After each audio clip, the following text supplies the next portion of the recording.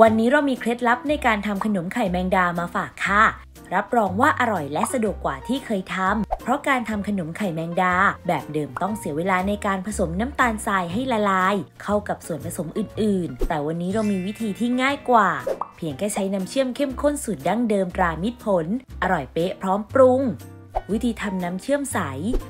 ผสมน้ำเชื่อมเข้มข้นสูตรดั้งเดิมตรามิตรผลกับน้ำต้มสุกเข้าด้วยกัน เตรียมไว้เป็นน้ำเชื่อมใส วิธีทำไข่แมงดา ใส่ไข่แดงของไข่ไก่ และไข่แดงของไข่เป็ด ลงในผ้าขาวบาง กรองจนเนื้อเนียน เติมแป้งข้าวเจ้าอบควันเทียน คนจนเข้ากัน เตรียมไว้ เทน้ำเชื่อมเข้มข้นสูตรดั้งเดิมตรามิตรผลลงในกระทะทอง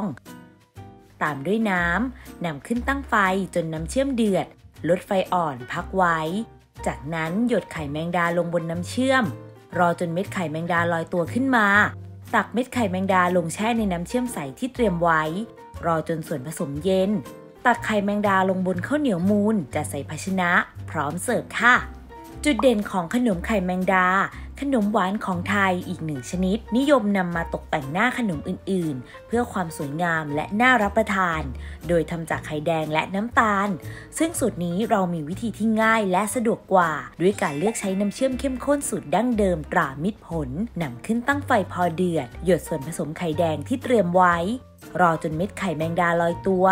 ตักขึ้นแช่ในน้ำเชื่อมอีกครั้ง